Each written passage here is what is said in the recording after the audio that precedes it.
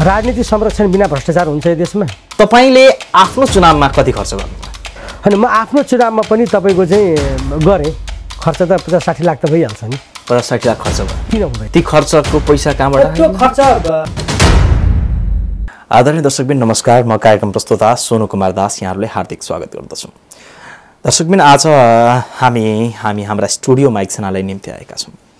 आज हामी के विषयमा कुरा गर्छौँ भने पछिल्लो समय जुन व्यक्तिसँग आज म तपाईँलाई परिचय गराउन गइरहेको छु सो व्यक्तिको आफ्नै एउटा छाप परिसकेको छ। भ्रष्टाचारहरूलाई कसरी नियन्त्रण गर्ने कसरी कारवाही गर्ने र भ्रष्टाचारहरू कस्ता कस्ता हुन्छन् भनेर पनि उहाँले नजिकबाट निहालिसक्नु भएको छ। किनभने उहाँकै कार्यकालमा उहाँले यस्ता केही राम्रा कार्यहरू गरेका थिए जसले गर्दाखेरि आज पनि उहाँको नाम सो मन्त्रालयमा जगजग नै छ आज हामी हाम्रा स्टुडियोमा हुनुहुन्छ नेकपाका केन्द्रीय सदस्य मोरङ पाँच नम्बर क्षेत्रका प्रतिनिधि सभा सांसद तथा विराटनगर महानगरपालिकाको जिल्ला इन्चार्ज।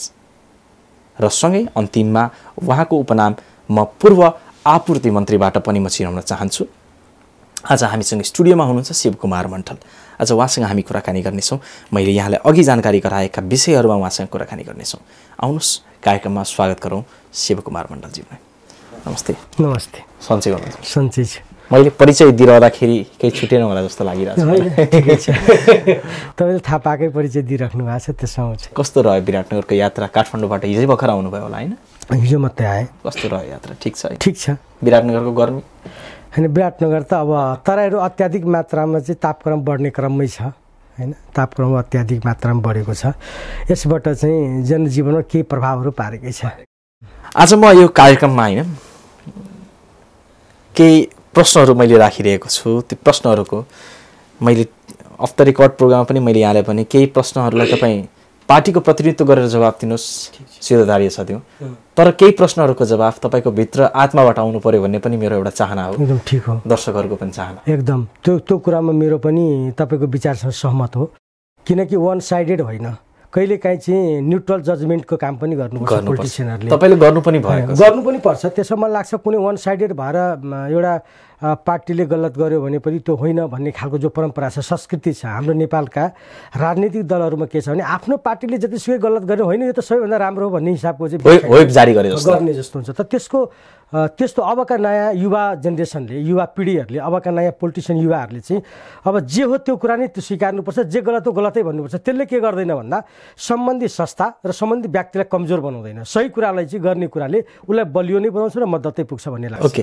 तपाईँले मेरो पहिलो प्रश्न अलिक तपाईँलाई जच्दैन होला जस्तो लाग्छ मलाई तर पनि म सोध्न। खोजिरहेको छु। तपाईँको निर्वाचन क्षेत्रका मतदाता अर्थात् जनता तपाईँबाट रुष्ट हुनुहुन्छ तपाईँलाई यो लाग्छ कि लाग्दैन? अब स्वाभाविक हो। म सयका सय पर्सेन्टलाई खुसी बनाउन सक्ने कन्डिसनमा त होइन। कहीँ न कहीँ मैले गरेको प्रतिशतको हिसाबले एकाउन्न प्रतिशतलाई मैले चाहिँ सेवा दिन सकेँ होला। अथवा एकाउन्न प्रतिशतको भनेको बेला मैले केही काम गरिदिन सक्ने कन्डिसनमा थिएँ होला। तर उन्चास प्रतिशत कहीँ न कहीँ मैले सबैलाई त सम्बोधन गर्न सकेका छैन। म हन्ड्रेड पर्सेन्टलाई सबै हिसाबले चाहिँ गरेँ भन्ने दाबी चाहिँ मेरो चाहिँ हुँदैन। म यो प्रश्नलाई मैले स्वीकार्ने कुरा हुन्छ। जे होस् अरू राजनीतिक कर्मीलाई मैले यही प्रश्न राख्दाखेरि होइन त्यसो त हुँदै होइन मैले चाहिँ सबैले राम्रै गरेको छु भनेर जवाब आउँथ्यो। तर तपाईँबाट चाहिँ आएन खुसी लाग्यो त्यो प्रयास चाहिँ। तपाईँको के हुन्छ भने हन्ड्रेडको हन्ड्रेड नै राम्रो गर्न सक्ने गरी चाहिँ जानुपर्छ भन्ने चाहिँ त्यो खालको चाहिँ सङ्कल्प गर्ने कुरा त्यो खालको दृढताका साथ अगाडि बढ्ने कुरा चाहिँ हुने कुरा नै हो त्यो गर्नु पनि पर्छ। तर गर्दै जाँदा चाहिँ हन्ड्रेडको हन्ड्रेड हुँदैन। आजसम्म दुनियाँमा कुनै पनि यस्तो व्यक्ति थिएन जसको चाहिँ संसारमा कुनै पनि चाहे त्यो तपाईँको सत्ययुगका देवतादेखि लिएर आजको राजनीतिसम्म या तपाईँका कुनै पनि धर्मगुरुदेखि लिएर सबैको गर्नुभयो भने हन्ड्रेड बाई हन्ड्रेड सबैले चाहिँ सेन्ट पर्सेन्ट चाहिँ मन पराएकै त काहीँ पनि दुनियाँमा काहीँ पनि म क्रमसँगै आउँछु तपाईँको ती कुराहरूमा। तपाईँको क्षेत्रको विषयमा मैले तपाईँसँग तपाईँको अन्तर्वार्ता लिने कुरा आइसकेपछि मैले तपाईँको केही रिसर्च गरेँ तपाईँसँगको के बुझ्न खोजेको मैले। शिवकुमार मण्डल कस्तो मान्छे हो भनेर पनि मैले बुझ्न खोजेँ। सायद मेरा प्रश्नहरूले पनि तपाईँ बुझ्नुहुन्छ मैले कतिको रिसर्च गरेको छु।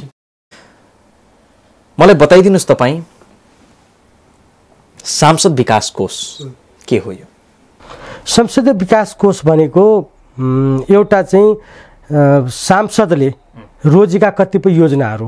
होइन कतिपय तपाईँको चाहिँ अब सरकारको नीतिले चाहिँ तय गर्ने एउटा कार्यक्रम हुन्छ। सरकारको नीति कार्यक्रम त्यो चाहिँ भौतिक मन्त्रालय कृषि मन्त्रालय ऊर्जा मन्त्रालय विभिन्न मन्त्रालयले उनले वार्षिकी कार्यक्रमहरू सार्वजनिकरण गरे हुन्छ। त्यो मन्त्रीको हैसियतले गरे हुन्छ। र समग्र आन् समग्र चाहिँ समस्याहरूको चाहिँ एउटा मूल चाहिँ अब एजेन्डा मार्फत चाहिँ योजना मार्फत चाहिँ सम्बोधन गर्ने प्रयास गरेको हुन्छ। संसदीय विकास रकम भनेको चाहिँ त्यसका बावजुद पनि संसदसँग केही प्रतिबद्धताहरू जनताको बिच गरे हुन्छ ती सबै कुराहरूलाई सरकारले सम्बोधन एउटै योजनामा सम्बोधन गरेको हुँदैन।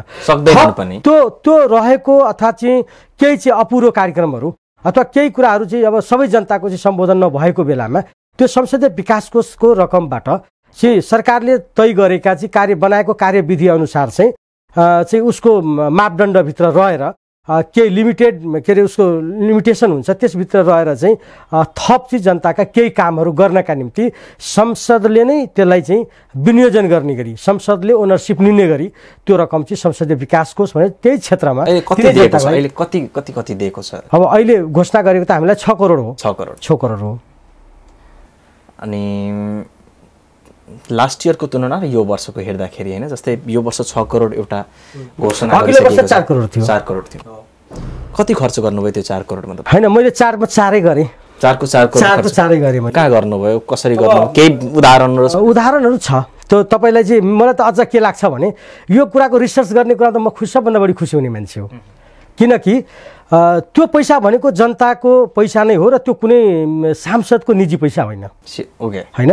अथवा हामीले जति पनि योजनाका विकास योजनाका निम्ति बजेट लिएर आउँछौँ जे पनि आउँछौँ त्यो जनताको अधिकार सरोकारको विषय हो। जनताले जनप्रतिनिधिले खर्च गरेको कुराहरूमा चाहिँ अत्यन्त नजिकबाट त्यसको चाहिँ अनुसन्धान गर्नुपर्छ। तपाईँले मैले त्यही भन्न कहाँ त्यसमा- सात करोडमा चाहिँ मैले कतिपय तपाईँको विद्यालयको कुरा भयो कतिपय तपाईँको बाटाघाटाकै कुरा भयो कतिपय तपाईँको सामुदायिक भवनहरू जस्तै मैले चाहिँ एकमुष्ट तपाईँको रङ्गेली नगरपालिकामा बन्ने चाहिँ सामुदायिक भवन अथवा धार धर्मशाला जस्तो जसलाई हामीले चाहिँ बाहिरबाट आउने मान्छेहरूलाई सहज तरिकाले किन रङ्गेली पनि एउटा सहरी अ, को तीव्र गतिमा अगाडि बढेको छ सहरीकरणको तीव्र गतिमा अगाडि बढेको छ। लगायत मेरो त जम्मा तपाईँको चौबिसवटा वडा र तहकै कुरा गर्ने हो भने त रङ्गेली नगरपालिका धनपाल गाउँपालिका र जहदा गाउँपालिका र महानगर गरी चाहिँ तपाईँको चार स्थानीय तह को भूगोलहरूलाई चाहिँ मैले सम्बोधन गर्नुपर्छ। त्यसो हुँदाखेरि विभिन्न शिक्षामा पनि खर्च गरिएको छ बाटोमा पनि गरिएको छ सामुदायिक भवनहरू पनि गरिएको छ र केही प्रतिशत चाहिँ थोरै चाहिँ चाहिँ तपाईँको जनताको चाहना पनि हो कतिपय मठ मन्दिरमा पनि खर्च गरिएको छ। त्यो मलाई लाग्छ हामीले विनियोजन गरेको बजेटको चाहिँ अहिले पनि रेकर्ड तपाईँको यो चाहिँ जिल्ला समन्वय समितिमा बसेर हामीले विनियोजन गरेको अहिले पनि रेकर्ड जस्ताको त्यस्तै हेर्न सकिन्छ र त्यसको काम कति भएको छ भन्ने कुरा सायद मलाई लाग्छ। सम्बन्धित ठाउँमै जनतालाई सोधे पनि हुन्छ। मैले सोधेँ मैले गएँ। मैले गएँ मैले ती कुराकानी पनि गरेको छु। मैले त्यो पनि तपाईँलाई जानकारी गराउनेछु आज। तपाईँले जसरी खर्च गर्नुभयो केही जनताहरूको गुनासो ठिक छ। मैले यो कार्यक्रम मार्फत पनि आज तपाईँले सुनाउनेछु त्यसको। जवाफ दिनुपर्ने हुन्छ। र अर्को प्रश्न तपाईँलाई दुई हजार चौसठी सालमा मोरङ क्षेत्र नम्बर चारबाट पराजित तपाईँ पैँसठी सालमा भएको उपचुनावमा पनि पराजित हुनुभयो। दुई हजार सत्तरी सालको चुनावमा सोही क्षेत्रबाट नौ हजार तिन सय साठी मत ल्याएर विजय हुनुभयो। ठिक हो। र अहिले पनि जनताले तपाईँलाई चुने तपाईँले के के दिनुभयो त्यही जनतालाई? होइन मैले त मैले प्रष्ट रूपमा चाहिँ तपाईँको दुईवटा निर्वाचन संविधान सभाको निम्ति थियो। पहिलो कुरा चाहिँ हामीले मैले क्लियर बोलेको छ। मेरो तपाईँ निर्वाचनको बेलाको रेकर्ड सबै हेरे हुन्छ।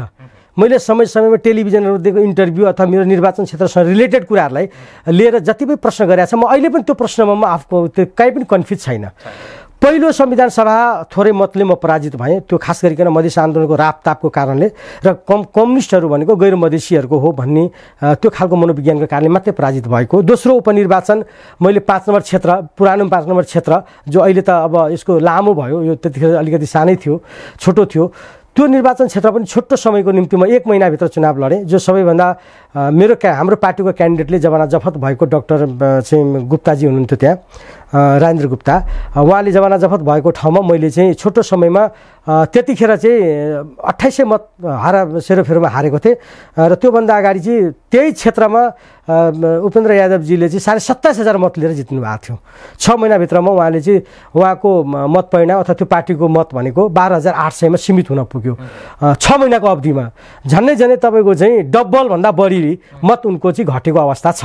त्यो त्यतिखेर पोजिसनलाई नै हेर्नुभयो भने। र मेरो के थियो भन्दाखेरि दुईवटा निर्वाचन भनेको नितान्त चाहिँ यो मुलुकको जनताको भाग्य र भविष्यसँग रिलेटेड कुरा थियो। किनकि त्यो त तत्कालीन कुरा भन्दा पनि त्यो लामो समयसम्म होइन चाहिँ एउटा युगौँ युगौँ युगको चाहिँ कुरालाई सम्बोधन गर्ने संविधान सभाबाट संविधान निर्माण गर्ने कुरा थियो। त्यसैले मूलभूत कुरा कुरा चाहिँ जनताको आधारभूत कुराहरूलाई संवैधानिक अधिकारलाई राजनीतिक अधिकार सामाजिक अधिकार जस्ता चाहिँ सबै प्रकारका अधिकारलाई सुनिश्चित गर्ने चाहिँ एजेन्डाको आधारमा चाहिँ संविधान सभाभित्र चाहिँ आफ्नो मत जाहेर गर्ने प्रतिनिधिहरूको चाहिँ भनेको त्यतिखेर आफ्नो मत जाहेर गर्ने होइन ओकालत गर्ने होइन यो यो मुद्दाहरू चाहिँ समेट्नुपर्छ भन्ने हिसाबबाट त्यसको ओकालत गर्ने दुई अवधिकाल चाहिँ त्यसरी नै गयो र मलाई लाग्छ म दोस्रो अवधिकालमा मात्रै प्रवेश गर्न पुगेँ र चाहिँ मलाई लाग्छ संविधान हामीले त्यतिखेर तत्कालीन चाहिँ माओवादी छुट्टै पार्टीको रूपमा रहेको थियो तेस्रो पोजिसनमा थियो होइन? अब पहिलो पार्टी चाहिँ नेपाली काङ्ग्रेस दोस्रो पार्टी एमाले थियो तत्कालीन पार्टीको हिसाबले गर्दाखेरि। र त्यतिखेर हामीले जे रोल प्ले गर्न पर्थ्यो एउटा संविधान सभाको जनप्रतिनिधिको हैसियतले त्यो रोल मैले प्ले गरेँ। र त्यो रोल प्ले गर्दै गर्दा त्यसैको आधारमा संविधान पनि जारी भयो र पछि संविधान जारी भइसकेपछि रूपान्तरित संसदले गर्ने त्यसपछि भनेको विकासमानको कुरा हो। विकासमानको कुरा बहत्तरमा संविधान जारी भइसके पछाडि करिब करिब चाहिँ तपाईँको पौने दुई वर्षको अवधिकाल हाम्रो विकास निर्माणसँग रिलेटेड कुरा थियो जो हामीले चाहिँ जनताका निम्ति आधारभूत कुराहरूलाई विकास निर्माणलाई जोडेर चाहिँ सरकारसँग चाहिँ माग्ने कुरा अथवा चाहिँ सम्बन्धित मन्त्रालयसँग चाहिँ योजना पेस गर्ने कुरा योजना कार्यान्वयन गर्ने कुरा मलाई लाग्छ त्यति बेला पनि मैले गरेको काम चाहिँ मेरो हैसियतबाट अथवा एउटा सांसदको हैसियतबाट मैले गर्नुपर्ने विकास निर्माणको काममा चाहिँ सायद मलाई लाग्छ मैले राम्रै गरेँ भन्ने मलाई लाग्छ। शिवकुमारजी तपाईँले जसरी अहिले भनिरहनु भएको थियो मै चाहिँ मैले चाहिँ संविधान बनाउने प्रक्रियामा पनि मेरो एउटा ठुलो अर्थात् तपाईँको पार्टी वा तपाईँको पनि एउटा ठुलो योगदान छ। संविधान बन्यो। मैले अस्ति भर्खरै एकजना नेताको अन्तर्वार्ता लिएँ। उहाँसँग पनि एकजना मधेसी नेताको अन्- अन्तर्वार्ता लिएँ। मैले उहाँलाई एउटा के प्रश्न गरेको थिएँ भने संविधान त बन्यो तर संविधानमा आदिवासी मधेसी महिलाहरूले अहिले पनि होइन त्यो संविधान मा समावेशिताको जुन हक प्रयोग गरेको छ त्यस त्यो चाहिँ अनुभूति गर्ने लायक छैन र भएको पनि छैन भनेर भन्यो। तपाईँ पनि मधेसी समुदायबाटै अगाडि बढ्नुभयो। संविधान लागू गर्नुभयो तर अहिले पनि मधेसका जनताहरू मधेसवादी पार्टीहरूलाई लिएर आन्दोलन गर्ने पक्षमा छन्। अब मलाई यो विषयमा मलाई के भन्न लाग्छ भने अब कतिपय हाम्रो कल्चर के छ भन्दाखेरि चाहिँ विरोधका निम्ति विरोध गर्ने पनि परम्परा छ। आजसम्म हाम्रो नेपालमा राजनीतिक परिवर्तनको श्रृङ्खलाबद्ध रूपमा हेर्नुभयो भने ठुल्ठुला परिवर्तन भएको छ। जहाँ चाहिँ दक्षिण एसियाको सायद मलाई लाग्छ विरलै मुलुकहरूमा यति धेरै परिवर्तन भएको अवस्था हो। राजनीतिक परिवर्तनको हिसाबले कुरा गर्ने हो भने।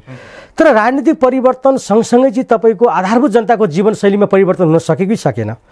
हामीले लक्षित वर्गहरूलाई जुन जुन एजेन्डाका आधारमा आन्दोलनमा जान्छौँ पछि आन्दोलन पछि सफलतापछि चाहिँ हामी त्यो आधारभूत वर्गको जीवनशैलीलाई बदल्नेतिर हामी लागेका छौँ कि छैनौँ भन्दाखेरि मलाई के लाग्दैन? तपाईँलाई- जस्तै अहिलेको समयमा तपाईँलाई त्यहीँनिर म आउँदैछु त्यही पोइन्टमा आउँदैछु। अहिले चाहिँ समावेशिताको कुरा समानुपातिको कुरा। भर्खरै लोकसेवा आयोगले चाहिँ चाहिँ विज्ञापन गरेको हिसाबले चाहिँ त्यसमा समावेशी समानुपातिक भएन भनेर जनजाति आदिवासीले आन्दोलन गरेको अवस्था छ। तपाईँको समर्थन छ? मेरो मेरो मेरो हन्ड्रेड पर्सेन्ट छ। त्यो अहिले संविधानले दिएको अधिकार संविधानद्वारा प्रदत्त अधिकार चाहिँ जनताले उपभोग गर्न पाउनुपर्छ। त्यसमा। कुनै शङ्का छैन हामीलाई। म पनि इभेन म त यो यो यो एजेन्डाको त पक्षधरै हो। होइन किन भन्दाखेरि तपाईँ सडचालिस सालको संविधान यो एजेन्डा त थिएन। हामी त सडचालिस सालको संविधान यो मुलुकका निम्ति चाहिँ त्यति फलदायी होइन। विकासको अवरोधक हुन् भनेर न नयाँ संविधानका निम्ति लडेर आएको मान्छे हो हामी त। हामी त कम्प्रोमाइज गरेर आएको होइन। हामी त नयाँ संविधान बदलेर आएका छौँ युग बदलेर आएका छौँ। त्यसैले समानुपातिक समावेशी सङ्घीयता त हाम्रा निम्ति त महत्त्वपूर्ण मार्गनिर्देशक सिद्धान्त हो। तर भएन नि त नि। होइन। त्यसमा म भन्छु अहिले के छ भन्दाखेरि कतिपय कुराहरू संविधान कार्यान्वयन गर्ने प्रक्रियामै छ। संविधान कार्यान्वयन गर्ने प्रक्रियामा चाहिँ ध्यान जति ध्यान दिनु पर्थ्यो अहिलेको सरकारका मन्त्रीहरूले जति ध्यान दिनु पर्थ्यो त्यो कुराहरूमा लागू गर्ने चाहिँ दृढतापूर्वक त्यो अलिकति नपुगेको अवस्था चाहिँ हो। एकछिन यहीँ रोकेँ यहीँ यहीँ रोकेँ मैले। त्यसो भए अहिलेको सरकार संविधान लागू गर्ने प्रक्रियामा चुकिएको छ भनेर भन्न मिल्छ कि मिल्दैन? होइन त्यस्तो भन्न मिल्दैन। भन्न। मिल्दैन। चु व्यवस्थापनमा केही कमजोरी भएको हो। व्यवस्थापनमा चुक्यो तर संविधान लागू गर्ने त यो यो सरकारको मूल उद्देश्य संविधान कार्यान्वयन गर्ने हो। तर समावेशिताको कुरालाई लिएर लोकसेवाले जुन किसिमले विज्ञापन निकाल्यो त्यहाँ चाहिँ केही त्रुटि त्रुटि त भएकै छैन। यो त्रुटि त म स्वीकारेँ। यो त्रुटि त स्वीकार्नुपर्छ। हामीले त त्यसलाई फेरि चाहिँ त्यो लुकेर सानो स्वर ठुलै स्वर भन्छु म। यो त्रुटि स्वीकार्नुपर्छ हामीले। किनकि संविधानले जे कुराको ग्यारेन्टी गरिसक्यो होइन जुन एजेन्डाको जगमा यो संविधान निर्माण भएको छ त्यो संविधान त त्यो म, जगमै त्यसलाई कार्यान्वयन गर्ने दिशामा त दृढतापूर्वक अगाडि बढ्नुपर्छ। त्यसैले अहिलेको लोकसेवा आयोगको समानुपातिक समावेशीको जो एजेन्डा हो सकिन्छ यसलाई खारिज गरेर चाहिँ पुनः चाहिँ विज्ञापन गरिदिएको भए धेरै राम्रो हुन्थ्यो।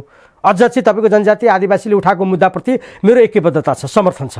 सहमत छु म त्यो विषयमा। अब सरकारका मन्त्रीहरूको के बाध्यता होला? अब अहिले तपाईँले यति भनिरहँदाखेरि शिवकुमारजी बडा मलाई चाहिँ डर लाग्न थालेको छ के विषयमा? तपाईँले यति कुरा भनिरहँदाखेरि कतै तपाईँको पार्टीले तपाईँलाई होइन त्यो कारवाही नगरोस् तपाईँ। आजको युवा राजनीति गर्ने हामी दास र गुलाम होइनौँ। यति कुरा तपाईँ बुझ्नु होला हामी साँचो कुरा बोल्नेमा हामी हिजो चाहिँ मर्न र मार्न भनेर हिँडेको मान्छे के को निम्ति हो हिँडेको हामी? त्यो दासत्वका निम्ति हो र?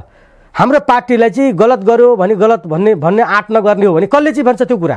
कसले त्यो कुरा गर्ने? त्यो अनि सुधार्ने कसले? मलाई के लाग्दैन भन्दा यतिभन्दा ठुलो अपराधै बोले जस्तो मलाई लाग्दैन। केही त्रुटि भएको छ त्यसलाई सच्याएर अगाडि बढ्नुपर्छ भन्ने त हाम्रो त उद्देश्य नै हो। हामीले विगतका कमजोरीबाट पाठ सिक्ने कुरा हुन्छ। हामीले चाहिँ सही कुरालाई लागू गर्नका निम्ति हामी किन डराउनु पर्यो? तर तपाईँकै मन्त्रालयका अर्थात् तपाईँको पार्टीका मन्त्रीहरूले यसलाई होइन यो त सही छ यो त जसरी भए पनि अगाडि बढ्छ पार्टीको व्हिप जारी भएको छ सरकारको व्हिप जारी भएको छ त्यसैले हुनुपर्छ भन्ने मैले यो। कुरामा तपाईँलाई के भन्छु भने हाम्रा मन्त्रीहरूलाई केही समस्या छ कि? कर्मचारी समायोजनको हतारो पनि छ। सबैभन्दा बढी पीडा त छ नि। अहिले तपाईँ चाहिँ तपाईँ हेर्नुभयो भने प्रदेशमा चाहिँ कतिपय कार्यालयहरूमा चाहिँ आवश्यक कर्मचारीको व्यवस्था हुन सकेको छैन। त्यसैले सरकारलाई एउटा प्रेसर हुनसक्छ यो लागू नहुने कुरामा म त्यही भन्न खोज्दैछु कि सरकारले एउटा किनकि देशैभरि तपाईँको संहितालाई संस्थागत गर्नु छ।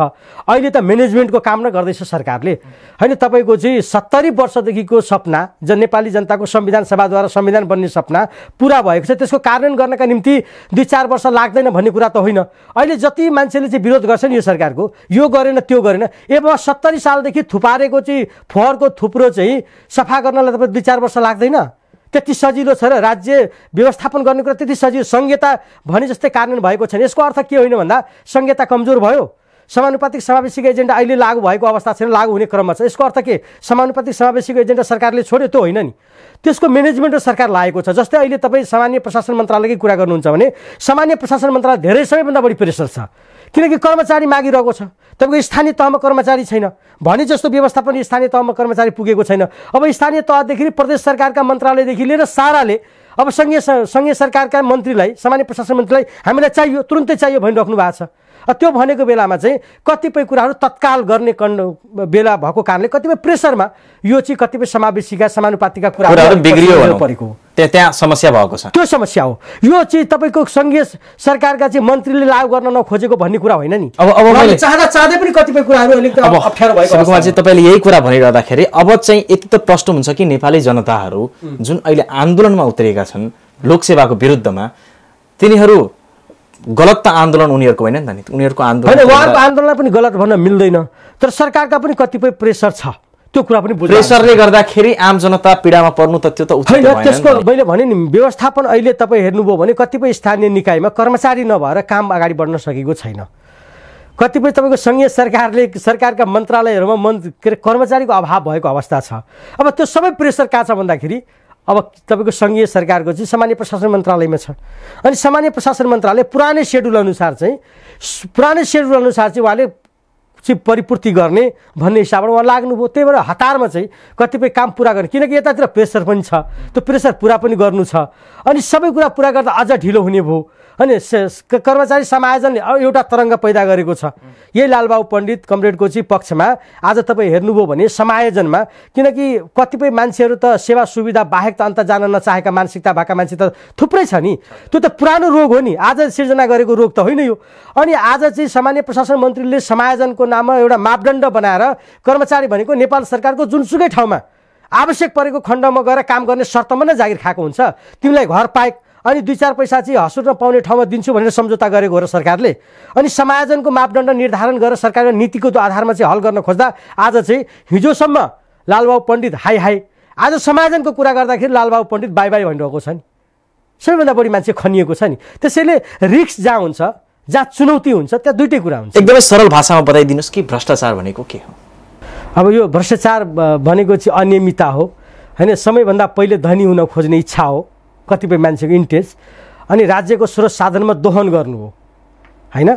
दुरुपयोग गर्नु हो। भ्रष्टाचार भनेको त्यही हो। तपाईँले आपूर्ति मन्त्री मन्त्रालय सम्हालिरहँदाखेरि नजिकबाट निहाल्नुभयो होला होइन? भ्रष्टाचारी। छोटो समयमा के अनुभव सेयर प्राप्त गरेको। एकदम हो। निकै राम्रो कारवाहीहरू पनि अगाडि बढाउँ कारवाही होइन कारवाही त धेरै हुनेवाला थियो। छुट्याइदिनु पो।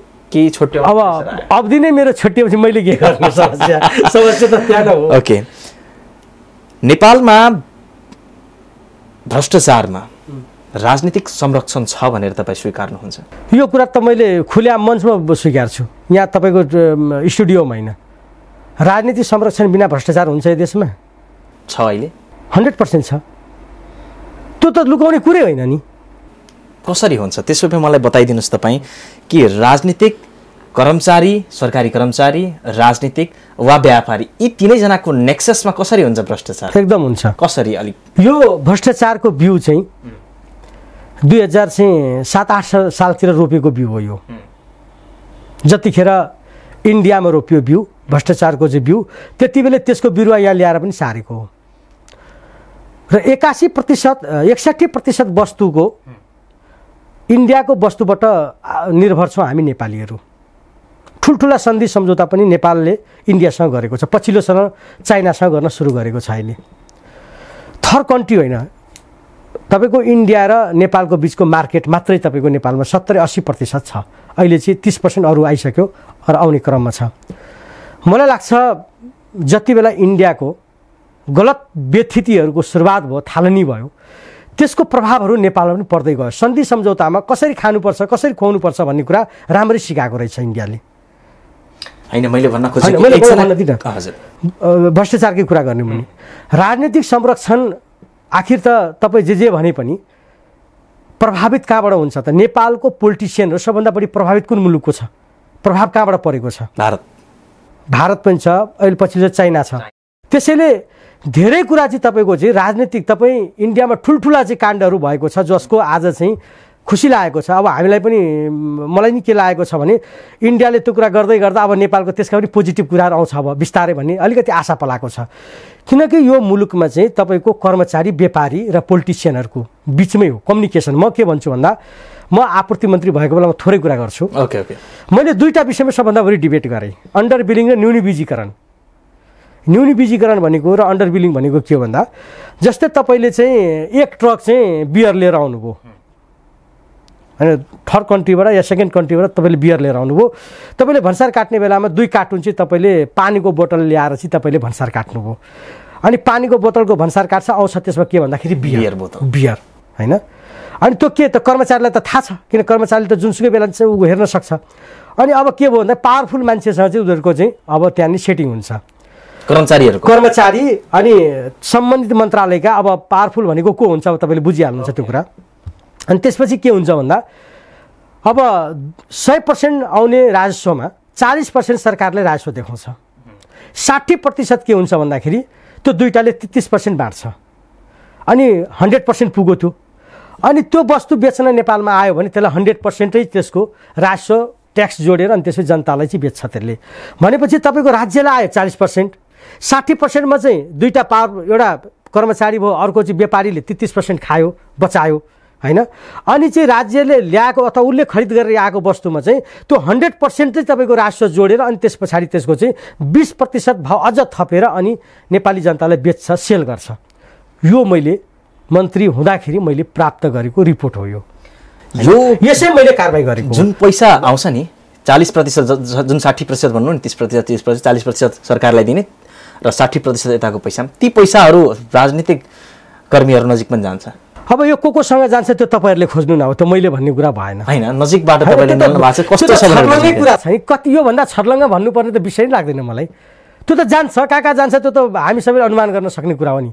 तपाईँ एउटा मन्त्रालयको डिजीले एउटा मन्त्रालयको सचिवले चाहिँ त्यो मन्त्रीसँग होला कतिपय अब मन्त्रीहरूलाई पनि छलेर गरेको हुने एउटा कुरा होला तर कयौँ कुराहरू त त्योसँग त टचै हुन्छ नि। किन हुँदैन? टच नगरिकन सबै कुरा त गर्दैन। उनीहरूको पनि काहीँ न काहीँ खुपियाहरू हुन्छ। एउटा चुनावमा वडाध्यक्षले मात्र बिसदेखि पच्चिस लाख खर्च गरेका छन् भनेर केही उदाहरणहरू पछिल्लो चुनावमा हामीले देख्यौँ उदाहरण होइन सत्य हो। के को उदाहरण यो? सत्य हो। त्यही सत्य सत्यतालाई कुरा हो। उदाहरण मैले माने। तपाईँले आफ्नो चुनावमा कति खर्च गर्नुभयो? अनि म आफ्नो चुनावमा पनि तपाईँको चाहिँ गरेँ। खर्च त पचास साठी लाख त भइहाल्छ नि। पचास साठी लाख खर्च भयो। किन हुँदैन? ती खर्चको पैसा कहाँबाट त्यो खर्च आफ्ना पनि कुरा रह्यो। आफूले जोहो गरेको कुरा पनि हो ऋण सापट्टिको कुरा पनि हुन्छ साथीभाइहरूसँग सरसापट्टिको कुरा पनि हुन्छ केही सहयोग पनि हुन्छ। साथीभाइहरूले सहयोग पनि गर्छ त्यसमा ठुलो कुरै भएन। त्यो त लुकाउने कुरै होइन तपाईँको निर्वाचन कतै कतै त्यही अब जोड्न खोजेको मैले। न यो प्रश्न नसोध्नु पर्ने हो मैले तर पनि मैले यहाँ हा, सोध्नुहोस् न खुलेर सोध्नुहोस्। कतै ती कर्मचारीहरूले नै तपाईँलाई ती पैसाहरू होइन त्यस्तो होइन। त्यो तपाईँको? मैले त्यतिखेर पनि भनेको थिएँ कर्मचारीबाटै पैसा लिएर चुनाव लड्नुपर्छ भन्ने होइन। इमान्दार हातहरूलाई इमान्दार हातीहरूले पनि सहयोग गर्ने पनि थुप्रै हातहरू छ यहाँ। तपाईँको चाहिँ व्यवसायहरू पनि कतिपय इमान्दार पनि त सबै बैमानै छ यो देशमा। कर्मचारी सबै बैमानी त छैन। छैन। होइन? हामीले नेगेटिभ र पोजिटिभ दुइटै कुरा हेर्न सकिन्छ। सेयर सेयर त्यसैले मलाई के लाग्छ भने अब चुनाव लड्ने कुरा चाहिँ चुनाव चाहिँ चुनाव प्रक्रिया नै हाम्रो जुन भद्दा प्रकारको छ यो नै भ्रष्टीकरणको पहिलो आधार हो। चुनावको जुन खालको व्यथिति तपाईँको भएको छ यो खर्चिलो चुनाव खर्चिलो चुनाव प्रक्रियाले त भ्रष्टीकरण त सिर्जना गर्छ गर्छ। त्यसले गर्दा मलाई के लाग्छ भने अब यसमा थोर बहुत सबै दोषी छ। होइन चाहिँ फलाना चाहिँ दोषी हामी चाहिँ चोखो त्यस्तो पनि होइन। तपाईँसँग आज अन्तर्वार्ता लिइरहँदा नि साँच्ची नै कोही खुला हृदयको मान्छेसँग अन्तर्वार्ता लिँदैछु भन्ने जस्तो भान भयो मलाई। तपाईँको सत्यता त- बाहिर आयो। सत्यता तपाईँले सत्य कुरा बोल्नलाई त के गाह्रो छ र म त कहिले पनि त्यस्ता कुरा तर। सबै राजनीतिक कर्मीहरू यसरी बोलिदिँदैनन्। होइन त्यो त अब नबोल्नु उहाँहरूको बाध्यता होला उहाँको केही होला तर मलाई त्यो बाध्यता छैन। मैले चाहिँ कुनै गलतै गरेर चाहिँ बाँच्नुपर्छ यो संसार भन्ने छैन। होइन अपराधै गरेर खानुपर्छ भन्ने छैन। मान्छेले गर्न चाहँदाखेरि आजसम्म तपाईँ दुनियाँमा विकास गरेको चाहिँ महान व्यक्तित्वहरूको श्रृङ्खला हेर्नु लिस्ट हेर्नुभयो भने सम्पन्नबाट सम्पन्न भएको चाहिँ थोरै इतिहास पाउनुहुन्छ तर विपन्नताबाट सम्पन्न भएको मान्छेको धेरै इतिहास पाउनुहुन्छ। कठिन परिस्थितिमा दुःख झेलेको सङ्घर्ष गरेको मान्छे सफलताको शिखर पुगेको इतिहास छ नि सबैभन्दा बढी। त्यसको अर्थ के भन्दा मिहिनेत गर्न चाहने मान्छे आज एउटा पोलिटिसियनले राजनीति गर्दै गर्दा उसले व्यवसाय गर्न नसक्ने भन्ने कुरा हुँदैन नि। उसले चाहिँ कुनै भ्रष्टाचारकै पैसाले बाँच्नुपर्छ भन्ने छ र होइन एउटा राजनीति गर्ने मान्छेले उद्यमशीलतामा पनि आफूले टाइम दिएर समय दिएर व्यापार बिजनेस पनि गरेर खान सक्छ नि बाबा। किन गर्न नसक्ने? इमान्दारताका पूर्वक होइन इमान्दारीपूर्वक चाहिँ आफ्नो जीवन जिउने कुरालाई कसले रोक्न सक्छ? तर हाम्रो देशमा ढुवानी छ। ठुलो पदमा पुगिसके पछाडि उसले चाहिँ अब तपाईँको चाहिँ सामान्य काम गर्नु हुँदैन। पसल खोल्न पाइएन। होइन उसले पसल खोल्न पाउँदैन उसले उद्योग व्यापार बिजनेस गर्न पाएन घरको सानोतिनो काम गर्नु हुँदैन प्रेस्टिज जान्छ ठुलो इज्जत केही छैन ठुलो चाहिँ हामीलाई सान चाहिन्छ यहाँ। होइन उदाहरणमा तपाईँ हेर्नु भने यही देशको कुरा गर्ने हो भने हामीले इतिहासमा यस्ता महान व्यक्तिहरू देखेका छौँ। आज चाहिँ शक्तिशाली राष्ट्रको चाहिँ राष्ट्रपति ओबामा चाहिँ ऊ आफ्नो पोस्टमा रहन्छ राज्यको सेवा सुविधामा रहे। त्यहाँबाट निक्लेपछि आज के गर्दैछ? प्राइभेट फर्ममा काम गरेको छैन। डक्टर अब्दुल कलाम जो चाहिँ यही छिमेकी राष्ट्रको चाहिँ राष्ट्रपति उनले आफ्नो अवधिकालसम्म राज्यको चाहिँ नीति निर्देशन अनुसार चले। उहाँको अवधि सकिने बित्तिकै किताब लिएर चाहिँ कलेज पढाउन जानु भएन उहाँले आफ्नो काम गर्नु भएन तर आज यो ठाउँको राष्ट्रपति यही रामवरण यादवको कुरा गर्नुहोस्। ऊ डक्टर होइन। आजसम्म एउटा बिरामी चेक गर्ने काहीँ उदाहरण सुन्नु भएको छ। अहिले पनि आज राष्ट्रपति रिटायर राष्ट्रपति हो। तर गर्छ के भन्दा त्यही राज्यको सेवा सुविधा लगेर चाहिँ तपाईँको खान्छ। अनि आफ्नो निजी सम्पत्ति के गर्छ भन्दा छोराछोरीका निम्ति राख्छ। किन चाहिन्छ यो देशमा सम्पत्ति? व्यक्तिले सम्पत्ति थुपारेर देश धनी हो र। सिस्टम बलियो बलियो बनाउनुहोस् न। तपाईँको पुस्तक पुस्ताले चाहिँ त्यसको सुविधा पाउनेवाला छ। तपाईँले यति सबै भनिरहँदाखेरि यति त प्रष्ट हो नि कि तपाईँले आप्रति मन्त्रालय सम्हालिरहँदाखेरि तपाईँको एक सचिवको सरुवा नहुन्जेलसम्म आयल निगम पैसाको समुद्रमा चुर्लुमा डुबेको थियो भनेर स्वीकार्नुहुन्छ जग्गा प्रकरणमा? होइन त्यो त मैले कारवाही नै गरेँ। त्यति मात्रै होइन। तपाईँको चाहिँ अनियमितताको विरुद्ध पनि कारवाही गरेँ। मैले सरुवाको कुरा गर्नु सचिवको सरुवा नहुन्जेलसम्म तपाईँले कठिनाइ भएको थियो। ठुलो कठिनाइ भएको थियो। सचिवले तपाईँलाई कारवाही प्रक्रिया अगाडि बढाउनकै लागि नै अलिक सकस पारिदिएको थियो। सकस पारेको थियो उहाँले सक्नु भएन। बिचरा उहाँ पनि घेराबन्दीमा। होइन उहाँ सचिव पनि मान्छे त्यति धेरै खराब त होइन। तर उहाँ पनि काहीँ न काहीँ चाहिँ ठुलो प्रेसरमा हुनुहुन्थ्यो र धेरैलाई अनुमान थिएन कि गोपाल खड्का भनेको त सेयर हो। के सेयर हो भन्दा अब तत्कालीन प्रधानमन्त्रीको घरमा किचन क्याबिनेट अरे उसको घरकै टेबलमै गएर खानुहुन्छ अरे उहाँसँगै कुरा गर्नुहुन्छ नि प्रधानमन्त्रीसँग टेबलमा गएर। मन्त्रीलाई किन टेर्थ्यो होइन त एक ठाउँ त अनुगमन गर्ने क्रममा त भने पनि त एउटा व्यापारीले। अनि यस्ता अनुगमन त कति आए कति गए भनेर बोलेकै थियो। त्यसपछि म एक्सन लिएँ। होइन ती गए को अरे भनेर भने मैले। कति आयो कति गयो भनेर त्यसपछि त्यतिखेर सिल हानेको मैले। कारवाही पनि सुरु गरेँ। नगरेको होइन। त्यसैले मलाई के लाग्छ भने गर्न चाहँदा तपाईँ हेर्नु न मेरो उदाहरण के लिनुहुन्छ? तपाईँ त्यही जनार्दन शर्माको उदाहरण लिनु न। यही सबै आखिर सबै कुरा त्यही थियो। स्रोत साधन त्यही हो। अवस्था त्यही हो। लामो समयसम्म अठार अठार घन्टासम्म लोड सेडिङ थियो। उहाँ जाँदाखेरि न पानीको बहाव बढेको हो नेपालमा। नयाँ हाइड्रो नै निर्माण भएको हो न विदेशबाट चाहिँ आयातै गरेको हो। जे थियो तीबाट चाहिँ। त्यसलाई व्यवस्थापन गर्दाखेरि चाहिँ शून्यतामा किन गयो? आखिर काम गर्ने मान्छेको लागि ठुलो कुरा होइन नि। ठुलो कुरा हो त। त्यसैले मलाई के लाग्छ भने काम गर्न चाहनेका निम्ति चाहिँ ठुलो कुरा होइन गर्न सकिन्छ। त्यसैले आजको डेटमा पनि राजनीतिक परिवर्तन ठुल्ठुलो भए पनि यो देशमा चाहिँ हामीले राज्यको चाहिँ मूल अङ्गमा ब्युरोक्राटभित्र नयाँ संरचना गर्न सकेका छैनौँ। त्यो संरचना पुरानै छ। अब तपाईँले त्यतिखेर एउटा तपाईँको एउटा भनाइ आएको थियो कि मैले मेरो मेरो कार्यकाल धेरै थिएन। मैले धेरै कार्यकाल न बसेको कारणले गर्दाखेरि मैले कम कारवाही गर्न भ्याएँ वा कम अनुगमनमा गएँ भनेर भन्दै हुनुहुन्थ्यो। तपाईँलाई एउटा यो पनि यो राजनीतिक कर्मीहरूको बिच एउटा कुरा चल्ने गरेको छ कि तपाईँलाई त्यसै कारणले गर्दाखेरि यो पालिको सरकारमा तपाईँलाई काहीँ कतै समेटिएको छैन भनेर? होइन अब त्यही कारण त नभनौँ। होइन अब त्यसमा मलाई फेरि के छ भन्दा म त एउटा पार्टीको कार्यकर्ता हो। पार्टीले गरेको निर्देशनलाई मान्ने कुरा हुन्छ। त्यतिखेर मलाई पत्रकार साथीहरूले सोध्नुहुन्थ्यो कि सक्नुहुन्छ? गोपाल खड्काले कसैले कारवाही नगरेको मान्छेले तपाईँ गर्न सक्नुहुन्छ? तपाईँको अध्यक्षले दिन्छ? मैले भने मेरो अध्यक्षले तपाईँले बढी चिन्नु भएको छ कि मैले चिने हो? मेरो अध्यक्षले त बढी मैले चिने हो नि। अध्यक्ष कमिटीले मलाई चाहिँ गलत गर्नको निम्ति शिवकुमारजी रोक्नुहोस् नगर्नुहोस् भनेर जीवनमा भन्नुहुन्छ भन्ने मलाई लागेको थिएन। र भन्नु पनि भएन नि। मैले कारवाही गर्दाखेरि त मैले मेरो अध्यक्षले त कहिले पनि शिवकुमारजी तपाईँ नगर्नुहोस् त भन्नु भएन नि। त्यसैले कतिपय अनुमानको भरमा के? होइन एउटाले गल्ती गरेपछि सबै गलत हो। फेरि प्रवृत्ति के छ भने कसै एउटाले गल्ती गर्यो भने त्यो पार्टीको सबै खराब हो भन्ने हेर्ने प्रवृत्ति पनि छ। व्यक्तिको आफ्नो विशिष्ट क्षमता र सोच्ने तरिका हुन्छ। सबै पत्रकारको एउटै सोच्ने तरिका हुन्छ। एउटै बुझ्ने वस्तुलाई बुझ्ने एउटै चाहिँ दृष्टिकोण हुन्छ उसँग? हुँदैन नि। वस्तुलाई फरक फरक तरिकाले बुझ्ने दृष्टिकोण हुन्छ। सोच्ने तरिका हुन्छ। त्यसैले मलाई के लाग्दैन भन्दाखेरि काम अब त्यो मात्रै कारणले भन्दा पनि अब हामीसँग चाहिँ थुप्रै नेताहरू नेताहरूको त ठुलो टिम छ नि त हाम्रो पार्टीमा। नेकपाभित्र तपाईँ हेर्नुभयो भने त त जम्बो टोली छ। जम्बू अब एक सय एक दिग्गज नेताहरू हामीसँग। छन्, छन्। हामीसँग नेताको अभाव छैन छैन। त्यस कारणले पनि अब मलाई लाग्छ म जाँदा चाहिँ गर्ने म नजाँदा नगर्ने भन्ने होइन त्यो सरकारको नीतिमा कुरा हो नीतिमा पोलिसीको कुरा हो किनकि एउटा व्यक्ति त तत्कालीन केही कुरा आफ्नो ठाउँमा गर्न सक्छ तर मुख्य कुरा त नीति नै हो नि त सरकारको नीति नै हो त्यसैले मलाई लाग्छ सरकारले नगरेको होइन केही कुरा सुरुवात गरेको छ तर मैले भने सत्तरी वर्षदेखि थुपारिएको फोहर सफा गर्न त दुई चार वर्ष लागिहाल्छ शिवकुमारजी खुसी लाग्छ यी कुराहरू सुनिरहँदाखेरि। तपाईँलाई सरकारले ठिकै छ शिवकुमारजी आऊ एउटा मन्त्रालय सम्हाल भनिरहँदाखेरि। कुन मन्त्रालय सम्हाल्नु छ होइन त्यो त्यो मेरो मेरो चोइस त हेर्नुहोस् एउटा मनका होइन। मनोकाङ्क्षा होला तपाईँको छैन। म आजसम्म म, के अरे म किसानको छोरो हो। र यो दुनियाँमा चाहिँ जान्ने चाहना राखिसकेपछि जे पनि जान्न सकिन्छ जे पनि सिक्न सकिन्छ नसिक्ने दुनियाँमा असम्भव केही पनि छैन।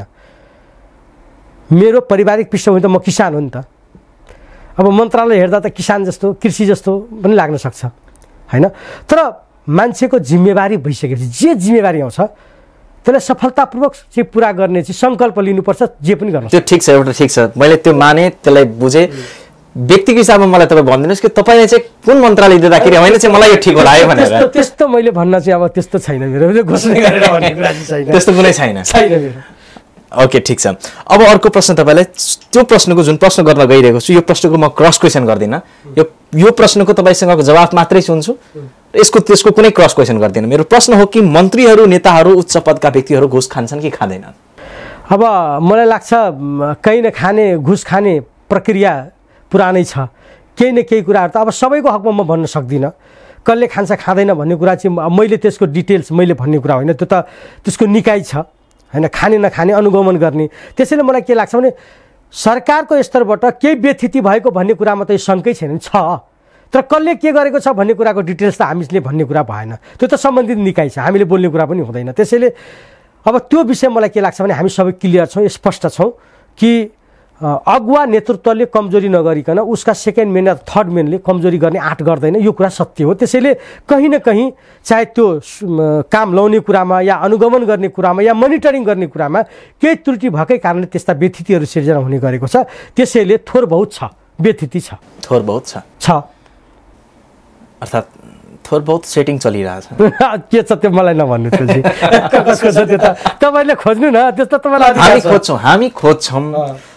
तर तपाईँ जस्तो व्यक्तिले मैले त्यतिखेर भने नि तपाईँलाई तपाईँ जस्तो व्यक्तिले जुन खुला हृदयका साथले जब तपाईँ जुन जवाफ दिँदै हुनुहुन्छ ती जवाफले गर्दाखेरि पनि दर्शक महानुभावहरूले तपाईँलाई तपाईँको रियाक्सन पछि पक्कै पनि राम्रो दृष्टिकोणले हेर्नुहुन्छ भन्ने मेरो भनाइ हो। होइन मेरो प्रयास रहनेछ म गलत कुरा गर्ने कुरामा मेरो त्यस्तो कहिले पनि इच्छा हुँदैन। सकेसम्म मैले जे हो त्यही बोल्ने कुरा हो। मैले जे जान्द जान्दछु त्यसैको जवाफ दिन चाहन्छु। म जे देख्छु त्यही भन्न सक्ने त्यही भन्ने आँट गर्छु म। विराटनगर महानगरको हालत कस्तो लागिरहेको छ अहिले? विराटनगर महानगरको पालिकाकै कुरा नगरौँ यो देशैको सबैभन्दा दुर्भाग्य छ। यो देशमा सबभन्दा ठुलो विडम्बना के छ भने मैले सद- सदनमा पनि अस्ति बोलेँ र म यदि त्यो ठाउँमा पुगेको भए सायद मैले यो कुरालाई म आफ्नो तरिकाले म टेकल गर्थेँ जस्तो लाग्छ मलाई। कुन ठाउँमा भन्नाले? अब यो भौतिक निर्माणको जो प्रक्रिया छ सबैभन्दा भ्रष्टीकरण के मानेमा छ भने सरकारसँग कमिटमेन्ट गरेर टेन्डर लिन्छ। म यति रकममा यो काम यति म पुरा गर्छु भनेर। उनको अवधिकाल एक वर्षको हुन्छ। उसले कमिटमेन्ट गरेको हुन्छ। तर टेन्डर लिइसके पछाडि उसले बिस प्रतिशत चाहिँ रनिङ बिल पाउँछ। रनिङ बिल पाइसकेपछि नेपालको ठेकेदारहरूले के गर्छ भन्दाखेरि उसले काम नगरेर तपाईँको चाहिँ त्यो पैसा अन्यत्र लगानी गर्छ र त्यसलाई फेरि चाहिँ विभिन्न कारण किनकि त्यो त कच त छोडेको हुन्छ त्यहाँ। केही न केही कारण त देखाउनु पऱ्यो अब त्यो कारण त कर्मचारी र त्यो ठेकदारको बिचमा सम्झौता हुन्छ। यो कारण देखाऊ एक वर्ष लम्ब्याउ दुई वर्ष लम्ब्याउ चार वर्ष लम्ब्याउ अनि वस्तुको भाउ पनि बढ्छ त्यो अनुसारको टेन टेन पर्सेन्ट प्लस गर्दै जान्छ सरकारले अनि त्यसको बिचमा तालमेल उनीहरूको सम्झौता हुन्छ उनीहरूको एग्रिमेन्ट हुन्छ आफ्नो लेनदेनको कुरा हुन्छ त्यसैले जनता चाहिँ मारमा पर्ने। राज्यले चाहिँ ट्याक्स चाहिँ विधिवत रूपमा कानुनसम्मत तरिकाले चाहिँ ट्याक्सको उसको चाहिँ वस्तु मूल्यको अनुसारको उसले अर्को वर्ष फेरि नयाँ चाहिँ उसको थप गरिदिनु पर्ने बजेट। अनि जनताले पाउनुपर्ने एक वर्षमा पाउने विकास निर्माणको काम दस वर्ष अथवा पाँच वर्ष लगाइदिने। सरकारले यो बिचमा केही कानुन बनाउन लागेको थियो त्यो ब्याक भयो त्यो सबैभन्दा दुर्भाग्य भयो भन्ने लाग्छ मलाई। यसपल्ट मैले घोषणा गरेँ हिजो मात्रै घोषणा गरेँ मैले। मेरो निर्वाचन क्षेत्रमा नेपाल सरकार चाहे प्रदेश सरकारका बजेट चाहे केन्द्र सरकारको राष्ट्रिय बजेट होस् टेन्डर लागिसके पछाडि त्यसको एक अवधिका एक वर्ष अवधिकालमा यदि काम गर्दैन भने मैले कार्यकर्तालाई हिजो निर्देशन गरेँ। खारेज गर्ने। कि त्यसका सम्पूर्ण सामानहरू कब्जा गर्ने। म उभिन्छु को आउँछ त्यहाँनिर? हेरौँ। अब हामीले जबरजस्ती भए पनि कानुन सम्मत तरिकाले हल हुँदैन भने त्यसका सामाजिक दृष्टिकोणले पनि अगाडि बढ्नुपर्छ सामाजिक प्रतिरोधका बावजुद पनि त्यसलाई हामीले ठिक लाउने ठाउँमा जान्छौँ। किनकि आज विराटनगर महानगरपालिकाको सबैभन्दा यहाँका नेतृत्व जनप्रतिनिधिहरूको सबैभन्दा चाहिँ ढिला सुस्ती के छ भन्दा टेन्डर लागेको कति वर्ष भयो आज? चार वर्ष भइसक्यो पाँच वर्ष भइसक्यो। अनि ठेकदारलाई बोलाएर तिमी काम गर्दै टेन्डर तोर भन्नु पर्दैन। बाटो टेन्डर छ। तिमी काम गर्नुहोस् किनकि यहाँ त काम नपाएर मान्छे छटपटाइरहेको छ कतिपय। एउटाले पचासौँवटा चाहिँ टेन्डर लिन्छ। काम चाहिँ दुईवटा पनि पुरा गर्दैन वर्षमा। किन दिनु पऱ्यो सरकारले त तपाईँको त्यस्ता कुरा जन स्थानीय जनप्रतिनिधि भनेको स्थानीय तह भनेको त आफैमा एउटा सरकार हो। उसले टेन्डरमा अवधिकालमा एक वर्षभित्र पुरा गर्दैन त्यसका टेन्डर खारिज गर्न लाउनुपर्छ। नयाँ टेन्डर गर्न लाउनुपर्छ जसले काम गर्छ त्यसले शर्त गरेर आउनु पऱ्यो नि। एउटाले चाहिँ लिने दस वर्षसम्म लम्ब्याइदिने एक वर्षमा हुने योजना दस वर्ष पछि परिरहेको छ। यो चाहिँ जनप्रतिनिधिका पनि र खास गरिकन नेतृत्वहरूको चाहिँ ठुलो चाहिँ यसमा चाहिँ तपाईँको चाहिँ ढिला सुस्ती छ। ढिला सुस्ती छ। ठेकदारलाई ठिक लाउनुपर्छ। अब त तपाईँको चाहिँ जनता उठाउन आवश्यक छ। काम किन नगर्ने? तपाईँले शर्तले जुन शर्त अनुसार चाहिँ एग्रिमेन्ट अनुसार तपाईँ काम लिइसकेपछि काम त दिनु पऱ्यो नि। तपाईँ पैसा लिनुहोस्। तपाईँ काम गर्नको लागि आउनु हो भने काम गर्नु पऱ्यो होइन भने तपाईँ दसवटा टेन्डर किन लिने? पच्चिसवटा टेन्डर किन लिने? सरकारले चाहिँ यस्ता कुराहरूमा काहीँ न काहीँ चाहिँ सुधार गर्नुपर्छ नीतिमा चाहिँ। यो सुधार नगरिकन विकास निर्माणको चाहिँ हामीको जनअपेक्षा चाहिँ पुरा हुने कुरा चाहिँ बहुत गाह्रो विषय छ। अहिले तपाईँ माओवादी पार्टीमा हुनुहुन्छ कि एमालेमा? नेकपा एमालेमा? न एमालेमा छु म न माओवादीमा छु म नेपाल कम्युनिस्ट पार्टीमा छु। भोलिको दिनमा भगवान् कृपाले कथन कदाचित त्यस्तो नहोस्। पार्टी विभाजन भयो भने माओवादीतिर जानुहुन्छ कि एमालेतिर जानुहुन्छ? होइन त्यस्तो कुरा त हामीले कल्पना गरेका छैनौँ अहिले। त्यस्तो कुरा कल्पना गर्नु अहिले कल्पना गरेका छैन। त्यसो भए अहिले चाहिँ नेपाल कम्युनिस्ट पार्टीमै हुनुहुन्छ। हामी नेपाल कम्युनिस्ट पार्टीमै हो म कस्तो छ नेपाल कम्युनिस्ट पार्टी? पछिल्लो समय जुन कार्य गरिरहेको छ। सरकारले भन्न खोजेको होइन मैले फेरि। नेपाल कम्युनिस्ट पार्टी जुन हिसाबले अगाडि बढिरहेको छ पार्टीभित्र कतिको व्यथिति छ कतिको समस्या छ? होइन पार्टीभित्र चाहिँ लामो समयसम्म चाहिँ पार्टी एकता प्रक्रिया चाहिँ अवरोध भएको कारणले केही समस्या थियो। अब हाम्रो पार्टीभित्रको चाहिँ पार्टी एकता प्रक्रिया स्थानीय तहसम्मै अब संस्थागत रूपमा सम्पन्न भइसकेको छ। त्यसैले अब हाम्रो पार्टीको गतिविधि अब अगाडि बढ्छ। तपाईँकै पार्टीभित्रकै एकजना उच्च नेताले नोट अफ डिसेन्ट लेख्नेसम्म वातावरण सृजित त्यो त कतिपय अन्तर्विरोध हो। वस्तु त्यो त के हो भन्दाखेरि तपाईँ जीवित विचार जहाँ चाहिँ जीवन्त पार्टी हुन्छ नि। अब एउटा कुनै पार्टी छ नेपालमा थुप्रै पार्टी छ र यो पार्टीमा फरक के छ म तपाईँलाई चाहिँ यो प्रश्न पारिदिन्छु। एउटा पार्टी सभापतिले चाहिँ आफ्नो नेतालाई चुप लाग्नुहोस् भन्यो भने चाहिँ चुप लाग्छ। तर हाम्रो पार्टी कस्तो छ भने विचारले बहस गर्ने हो। दृष्टिकोणमा बहस गर्ने हो। डिबेट गर्ने हो। ग्रेट डिबेट गर्ने हो। वैचारिक सैद्धान्तिक बहस हुन्छ। त्यसैले कतिपय विचार आफूलाई गलत लाग्यो भने नोट अफ डिसिसन लेख्ने कुरा कम्युनिस्ट पार्टीभित्र भनेको ठुलो कुरा होइन। तर एउटा चाहिँ गैर कम्युनिस्ट पार्टी हेर्नुभयो भने विचारमा बहस हुँदैन नीतिमा डिबेट हुँदैन व्यक्तिले भनिसकेपछि डिक्टेट लाग्नु हुन्छ। हाम्रो त्यस्तो हुँदैन। जनवाद र केन्द्रीयता भन्छौँ हामी हाम्रो परिभाषामा। जनवाद भनेको चाहिँ खुला हृदयले तपाईँ आफ्ना विचार अभिव्यक्त गर्नुहोस्। तपाईँका मनमा लागेको कुनै विषयमा तपाईँको आफ्ना मनमा लागेको कुरा राख्नुहोस् तर अन्तत त्यसको निर्णय हुन्छ। निर्णय भनेको बहुमत प्रक्रियाले हुन्छ नीतिअनुसार हुन्छ। अनि निर्णय भइसकेपछि त्यसलाई लागू गर्नुहोस्। तपाईँको यदि त्यो निर्णय गलतै भएछ भने कुनै समयमा गलत पुष्टि भएछ भने फेरि त्यसको विरुद्ध अर्को निर्णय नयाँ निर्णय भएर आउँछ। कुनै तर के हुन्छ भन्दा हाम्रो पार्टीभित्र भनेको नेतै नेताको टिम विचारमा पोक्त विचारमा दक्ष पार्टी नेता नेतृत्वहरू भइसकेपछि कतिपय योजनाहरूमा एजेन्डाहरूमा अब विमतिहरू हुने कुरा स्वाभाविक हो। त्यसलाई चाहिँ हाम्रो पार्टीमा पनि सामान्य कुरा हो त्यो। मैले अब मेरो यो अन्तिम प्रश्न हो कार्यक्रम अन्तिम चरणतिर छौँ। मेरो प्रश्न के छ भने जुन हिसाबले नेकपा माओवादी तत्कालीन नेकपा माओवादीले जनयुद्धमा गए बाहन्न सालदेखि त्रिसठी सालसम्मको जुन जनयुद्ध गरे। बासठीसम्म। बासठीसम्म। थुप्रै मान्छेहरूको भयो। त्यतिखेर तपाईँहरूसँग विप्लव पनि थिए नि थियो। अहिले विप्लव टाढिसकेका छ। अहिले तपाईँकै पार्टीले विप्लवलाई प्रतिबन्ध गरिसकेको छ। यस विषयमा तपाईँको धारणा के छ? होइन अब यसमा मलाई के लाग्छ भन्दाखेरि हाम्रो पार्टी एउटा चाहिँ जनयुद्धको माध्यमबाट राजनीतिक परिवर्तनको मूल उद्देश्य बोकेर हामी आयौँ।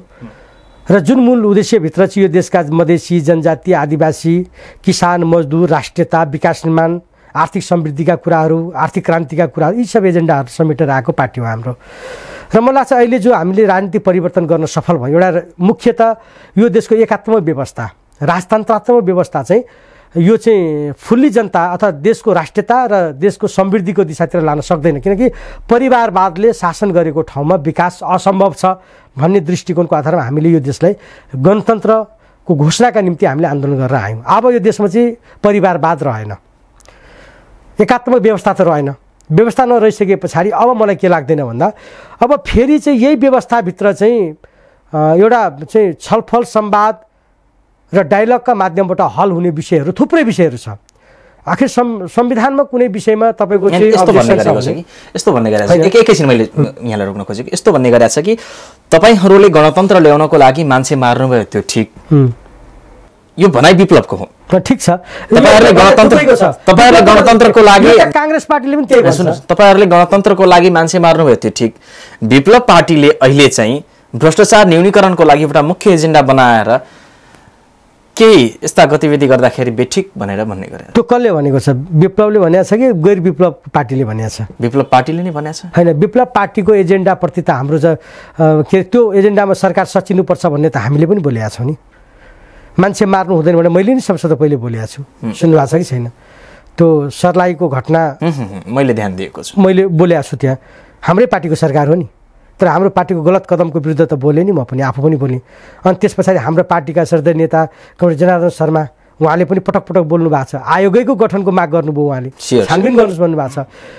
भनेपछि व्यथितिको बारेमा उठाउने मुद्दाकै निम्ति यही भ्रष्टाचार रोक्नुपर्छ अनियमितता रोक्नुपर्छ यसका लागि जनयुद्धै गर्नु परेन नि त अब त।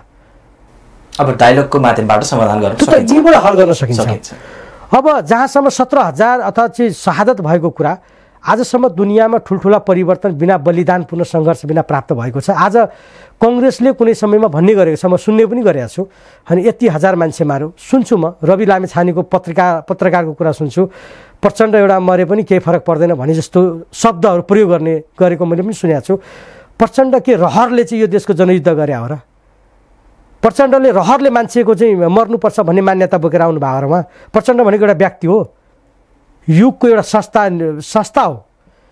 राजनीतिक युगको युगान्तकारी परिवर्तनको एउटा संस्थाको नेतृत्व हो। उहाँ व्यक्ति होइन नि। त्यसैले मलाई के लाग्दैन भन्दा तपाईँ आजसम्म कङ्ग्रेसले यो मुलुकमा चाहिँ आन्दोलन गरे शहादत भएन। कसले चाहिँ गर्दा शहादत भएको छैन? त्यसैले मलाई के लाग्दैन भन्दाखेरि बलिदान एउटा चाहिँ आवश्यक थियो देशमा। त्यो बलिदानीपूर्ण सङ्घर्ष बिना यो देशको राजतन्त्रको अन्त सम्भव पनि थिएन। त्यो हामी सबै लागेको हो। हामी आज बाँच्यौँ। कसैले भन्ला हामीलाई? तपाईँले सत्र हजार मारेर आउनुभयो। हामी चाहिँ के बाँच्न भनेर हामीलाई चाहिँ गोली लाग्यो हामी मर्न गएको थिएनौँ। हामी मर्न भनेर तयार भएर गएको होइन। म मलाई कसैले चाहिँ जबरजस्ती लगेको हो र म त्यो विचारप्रति त्यो एजेन्डाप्रति म सहमत भएर गएको हो नि। त्यसैले यो सत्र हजार कसैको दया मायाले गएर चाहिँ मर्न गएको होइन। विचारप्रति दृढ भएर। विचार बुझेर एजेन्डा बुझेरै यसमा आवश्यक छ मेरो आवश्यक छ भने त्यो आन्दोलनमा होमिएको हो। त्यसैले बेकारमा चाहिँ कतिपय कुरा गर्छ नि। यो सत्र हजार मार्यो प्रचण्डले के जानेर चाहिँ कसैलाई दुःख दिनको लागि मारेको हो? त्यसैले मलाई लाग्छ यो बेला बेलामा बोल्ने शब्दहरू कतिपय शब्दहरूप्रति चाहिँ बहुत चाहिँ मलाई घृणा पैदा हुन्छ घृणा पैदा हुन्छ कि? किन बलिदानीपूर्ण सङ्घर्ष बिना आजसम्म तपाईँ दुनियाँमा हेर्नुभयो भने सत्ययुगमा पनि महाभारतमा कि मान्छे मरेन? रामायणमा मान्छे मरेन? संसारको जुनसुकै मुलुकमा हेर्नुभयो भने राजनीति परिवर्तनका निम्ति भएको आन्दोलन कहाँनिर मान्छे मरेको छैन? यहाँ मात्रै यही देशको कुराको नेपाली कहाँनिर मान्छे मारेको छैन? छ नि त। त्यसैले मलाई के लाग्छ भने कि अहिले भ्रष्टाचारका कुराहरू संविधानका कैयौँ धाराका विषयहरूमा अब यति बेला बन्दुकै उठाउनुपर्छ भन्ने लाग्दैन मलाई। त्यसैले विप्लव कमरेडहरू राजनीतिक रूपमै किनकि उहाँहरूले चलाएकै एजेन्डा उहाँहरू नै हाम्रो नेता भएर हामी आएको त हो। के सुझाव दिनुहुन्छ विप्लव? उहाँलाई मेरो एउटै सुझाव के छ भने हो व्यथितिका विरुद्ध हामी चाहिँ शान्तिपूर्ण तरिकाबाट त्यसको चाहिँ प्रतिरोध गर्न सक्ने स्थितिमै छौँ। हामी त्यसलाई सच्याउन सक्नुपर्छ त्यो ठाउँमै छौँ। त्यसैले मलाई लाग्छ अब फेरि चाहिँ अब तपाईँको सङ्घर्ष शस्त्र सङ्घर्षकै शान्तिपूर्ण सङ्घर्ष कतिपय मोडेलहरू चाहिँ हुनसक्छ। तर शस्त्रपूर्ण शस्त्र सङ्घर्षै गर्नुपर्छ भन्ने मलाई लाग्दैन। Okay. Thank you so much आजको यस कार्यक्रममा। तपाईँले आफ्नो अमूल्य समय दिनुभयो। र कार्यक्रमको अन्त्यमा छोटो मिठो तपाईँ नगरवासीलाई देशवासीलाई आफ्ना दुई शब्द राख्नलाई पनि अनुरोध गर्न चाहन्छु। अब यति बेला मलाई लाग्छ खास गरी तपाईँको मिडिया मार्फत चाहिँ यो देशको सङ्घीय लोकतान्त्रिक गणतन्त्र नेपाल जो ठुलो सङ्घर्ष र बलिदानबाट प्राप्त भएको व्यवस्था हो यो। यो व्यवस्थाका कतिपय यिनका अहिले चाहिँ खास गरिकन सरकारले गरेका कतिपय कामहरू यसो देखिँदाखेरि चाहिँ मान्छेले अपेक्षा गरेकै स्तरमा त्यही तीव्र गतिमा चाहिँ परिवर्तनको प्रत्याभूति नपाएको हुनसक्छ र त्यसबाट चाहिँ कहीँ न कहीँ गणतन्त्रप्रति चाहिँ नेगेटिभ कुराहरू पनि हुने उठ्ने गरेको छ। त्यसर्थ म के अनुरोध गर्न चाहन्छु भने यो गणतन्त्र नै हो जसले हामी सबैका निम्ति सबैका एउटा महत्त्वपूर्ण साझा भावनाको प्रतित्व गर्ने व्यवस्था हो यो। होइन साझा भावनाको प्रतित्व गर्ने व्यवस्था हो र यो व्यवस्थाको विकल्प नयाँ अर्को कुनै प्रकारको सोच्ने चाहिँ हाम्रो बिच सोच्नु भनेको त्यो दुर्भाग्य हुन्छ। त्यसर्थ सरकारले अहिले तीव्र गतिमा विकासको गति अगाडि बढाइरहँदाखेरि सङ्घीयता र समानुपातिक जस्ता एजेन्डाहरूलाई कार्यान्वयन गर्दै गर्दा कतिपय कुराहरू होला। जुन तीव्र गतिमा हुनुपर्थ्यो त्यो हुन सकेन फेरि पनि त्यो एउटा संस्थागत रूपमा गर्दै पनि गएको छ र त्यसैले सरकार जनताको जनचाहना पुरा गर्ने उद्देश्यका साथ र नेकपा पार्टी पनि जनताको एजेन्डालाई कार्यान्वयन गराउने गरी नै आफ्नो उद्देश्यप्रति चाहिँ प्रति अगाडि बढिरहेका छौँ र हामी त्यसरी अगाडि नै बढेका छौँ। त्यस मानेमा यो व्यवस्थाप्रति सबैको र यो सरकार र पार्टीले चाहिँ जुन खालको जनताको जिम्मेवारी ताका साथ अगाडि बढ्छ त्यो बढ्ने कुरामा हामी अगाडि बढ्छौँ र यसमा कुनै प्रकारको कन्फ्युजन पैदा नहोस् भन्ने भन्न चाहन्छौँ धन्यवाद। Thank you so much Shivkumar sir. दर्शकबिन आज हामी कुराकानी गरिरहेका थियौँ। जसरी आजको यो कार्यक्रम यहाँहरूले सुन्नुभयो हेर्नुभयो पक्कै पनि एउटा राजनीतिक दबावले बोल्ने कुरा र पितृ हृदयबाट बोल्ने कुरामा फरक हुन्छ भन्ने कुरा तपाईँले भन्नुभयो होला तपाईँलाई लागेको होला। कि कसरी एउटा नेताले देश बनाउनको लागि कतिसम्म कठिनाइ भोग्नु परेको छ र कतिसम्म कठिनाइ भोगिरहनु भएको छ भोगिरहेका छन् भनेर पनि यहाँले यो कार्यक्रम मार्फत यहाँले सुन्नुभयो होला हेर्नुभयो होला। यी भन्दै हामी अर्को श्रृङ्खलाको साथ अब फेरि पनि उपस्थित हुने नै छौँ। आज हामी हाम्रा स्टुडियोमा हुनुहुन्थ्यो नेकपाका केन्द्रीय सदस्य पूर्व आपूर्ति मन्त्री सँगै मोरङ पाँच नम्बर क्षेत्रका प्रतिनिधि सभा सांसद विराटनगर महानगरपालिकाको जिल्ला इन्चार्ज शिवकुमार मण्डल उहाँसँग हामीले छोटो मिठो र राम्रो फलदायी कुराकानी गऱ्यौँ। आज हामी उहाँसँग यो भन्दै अर्को श्रृङ्खलाको साथ फेरि पनि म उपस्थित हुने नै छौँ। म कार्यक्रम प्रस्तुता सुन कुमार दासलाई बिदा दिनुहोस्। नमस्ते।